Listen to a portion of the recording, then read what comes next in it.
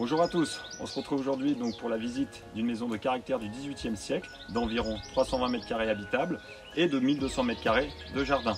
Elle est située à 10 minutes de Montreuil-Bellay, à 10 minutes également du Center Park et à 25 minutes de Saumur. Cette maison a un fort potentiel évolutif euh, permettant donc différentes activités telles que le gîte, chambre d'hôte, onotourisme ou bien même restaurant.